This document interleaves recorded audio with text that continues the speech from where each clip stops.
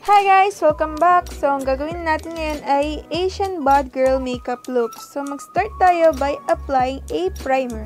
So, ginagamit ko itong Maybelline Master Prime Mattifying Primer. So, yan. Dinadat-dat ko lang siya sa face ko. And then, ang gagamitin kong pang-blend ay ang aking fingers. And then, sa pagbe-blend ko, parang minamassage ko siya sa face ko. Like, ganyan. Massage-massage mo yung primer para maganda. Ganon. So, after mo mag-primer, pwede ka nang mag-foundation. So, ginagamit ko yung Maybelline Superstay Foundation. Favorite foundation ko to kasi ang ganda ng finish niya, tapos hindi siya nagkikik sa akin. Actually, pangalawang battle ko na to. At yon hindi pa rin ako nadidisappoint sa performance ng foundation na to. Medium to full coverage yung ano niya. Tapos, ayan, blendable din siya. Ang ganda-ganda talaga. So, in-apply ko muna yung half ng face ko para makita niyo yung difference ng may foundation at wala. So, ayan, bine-blend ko lang siya using a sponge. So, ganyan lang. Dapat gentle pa rin yung pag-apply mo or yung pag-blend mo. Like that. So, ayan, makikita niyo yung difference. So, medium to full coverage siya. So, ina-apply ko na rin yung other side of my face. So, dinadat-dat. Tapos, ibe-blend ko siya using a sponge. So, careful ka sa pagbe-blend ah. Huwag mong paka diin kasi baka mabura lang yung foundation na nilalagay mo, hindi ma-blend. So, ganyan lang. Blend-blend ka lang. Yan. Paka-blend mo para maging flawless yung finish ng foundation mo kasi yun yung base mo. So, yan. In-apply ko na rin yung sobra sa sponge sa neck part ko para pantay yung kulay. Next is, isa-set natin yung foundation using a loose powder, loose powder, powder from BTLA. So, yung pang set ko yan. Tapos, ang gagawin ko is magbe-bake ako.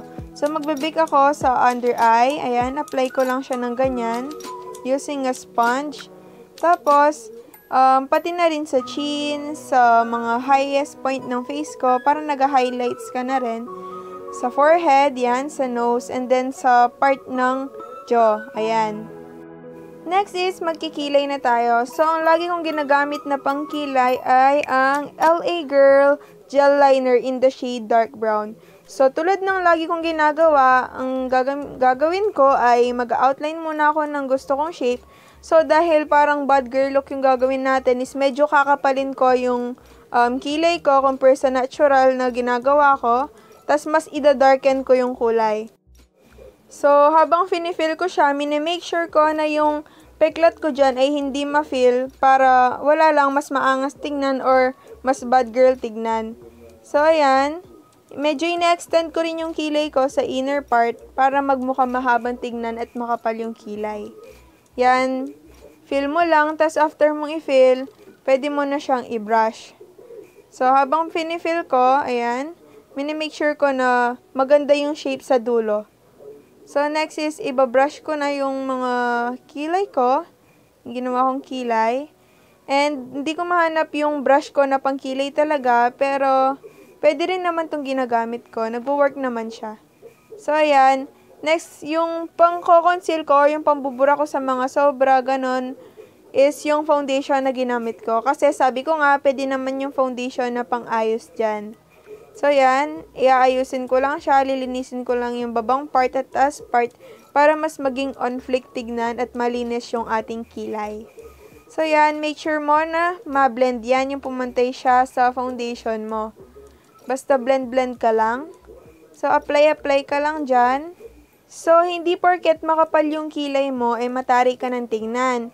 Siyempre, depende lang yan sa'yo. Kung bagay-bagay lang kasi yung kilay, minsan mukha ka mataray kapag makapal yung kilay mo. Minsan naman is, bagay lang sa'yo yung hindi mataray para normal lang. So ako, pag makapal yung kilay ko, medyo mataray akong tignan or medyo bad girl tignan. Feeling ko lang ah. So ayun, pati dun sa kabila is nilinis ko na rin. Ayan. Tapos binigyan ko ng concealer yung um, parang guhit ko na part o yung peklat ko para mas uh, maging halata siya. Tapos, pinowder ko na rin yung binake ko kanina. Ayan, luto na, naalis na natin. So, ayan, paka-brush mo lang para maalis yung sobra-sobrang powder sa face mo. Ayan, habang nag-brush um, ka, wag mong pakadiin, baka magulo lang yung foundation, medyo gentle pa rin. And then, after kong magkilay, maglalagay na ako ng eyeshadow. So, syempre, gagamitin ko na naman tong favorite kong eyeshadow palette. So, ginamit ko yung shade na yon as a transition color. So, go, um, gagawin natin is medyo mas dark na eyeshadow look. So, yan. Medyo dark na yung transition color natin.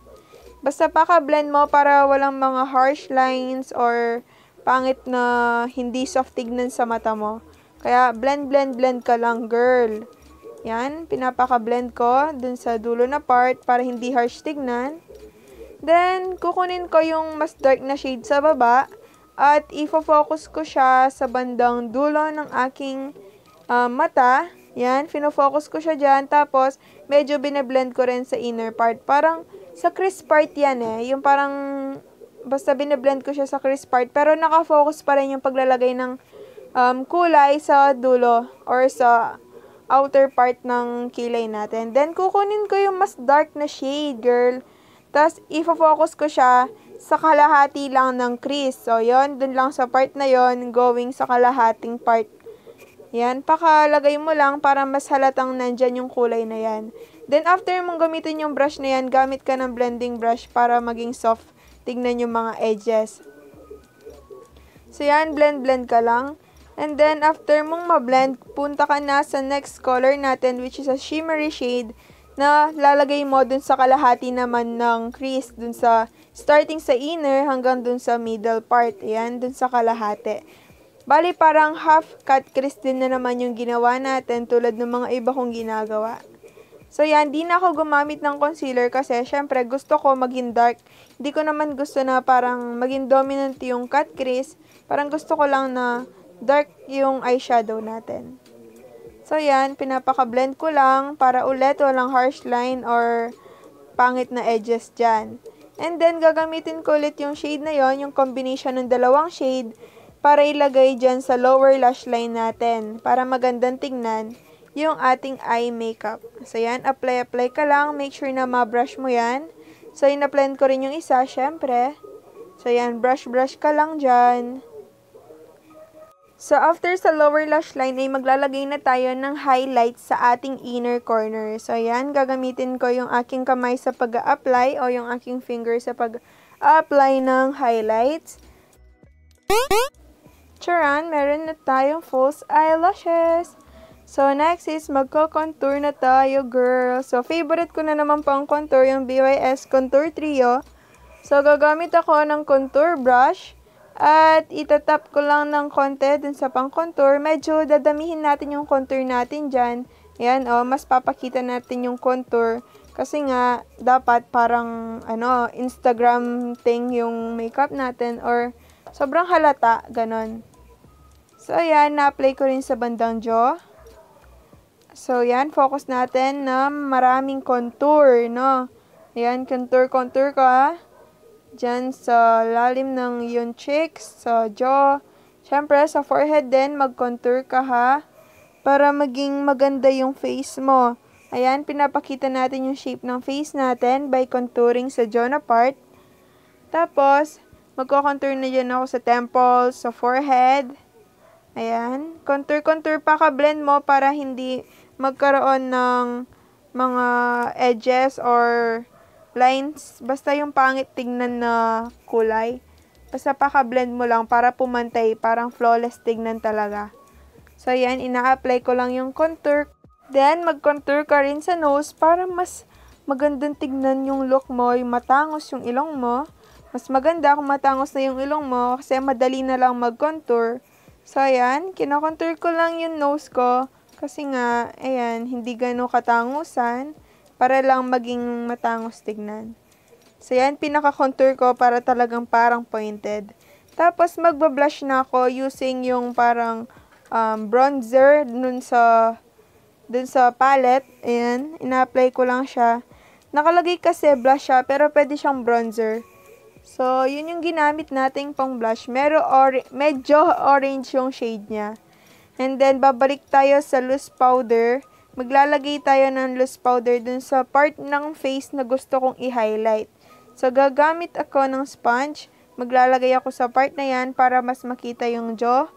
And then, Maglalagay rin ako sa medyo inner part ng eyes or under eye, pero sa inner part tayo magpo-focus. Ayan. And then sa forehead din, maglalagay tayo at sa nose. Ayan, apply-apply lang ako.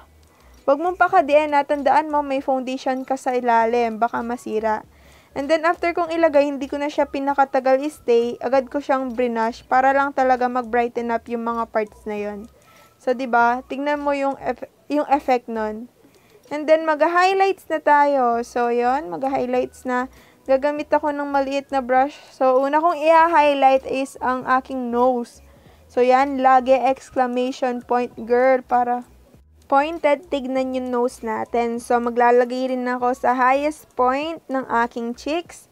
So, ayan, maglalagay ako dyan para magandang tingnan. Sh shiny, shimmery, splendid ng ating face. Tapos, naglalagay ako sa cupid's bone and sa chin. And syempre, dapat sa brow bone, maglagay ka rin para on fleek tignan. So, kung napansin nyo, medyo naparami yung nalagay kong highlights dyan. Ginawa ko is blend ko siya using yung transition color kanina.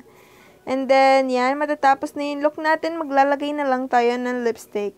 So, ginagamit ko yung BYS, yung, ano, collaboration with Nadine. So, ginagamit kong first shade itong number 1, Leo, na napakaganda. As in, ang ganda ng shade na yan. Parang natural looking ganon. So, in-start ko siya sa light na shade para matignan ko kung ano ba yung bagay. So, feeling ko masyado tayong mabait sa ganyang kulay. So, mag magda-dark naman tayo ng konti. Ayan, sa number 2, Virgo, mas dark siya sa kanina. Pero parang kulang pa rin, no? Parang hindi pa rin tayo mataray or bad girl tingnan. So, lastly, syempre, papaka-dark na natin number 6 agad, Capricorn. So, ayan. Apply ka lang, girl. Para ma-achieve mo yung gusto mong kulay. Kung meron ka, ano, dark na agad, eh di yun na. Para madali. Medyo pabebe lang tayo. So, yan na yung final look natin. Ayan, aura-aura muna tayo. At magbibihis na ako para sa final look.